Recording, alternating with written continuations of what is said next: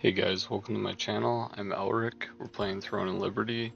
So today I want to talk about mastery. So before your mastery for uh, in your skills here for each weapon, you'd have to just grind up mobs, and it took forever. So they changed how you can level up mastery now. So just doing your 10 daily contracts you get, each one of those contracts is going to give you 40,000 experience to a weapon, and you can actually pick which weapon you want to use it on. It doesn't have to be the ones that um that you normally use.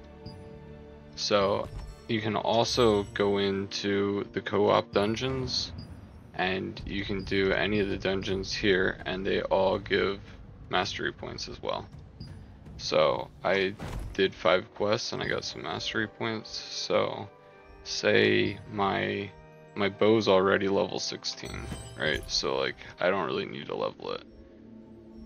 And my daggers are already 16, so I'm gonna skip those two. So what I'll do is I'll equip say uh, sword and shield into slot 1 instead of my bow.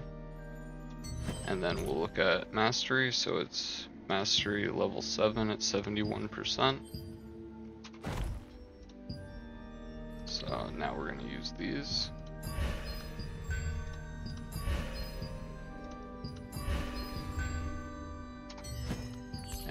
Now my mastery for sword is now at 93% and I haven't touched sword at all.